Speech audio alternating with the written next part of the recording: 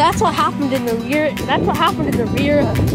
The the last part of the hurricane. It just like demolished everything. It made everything a big mess. So I hope you enjoyed. Don't forget to comment, like, subscribe. Bye.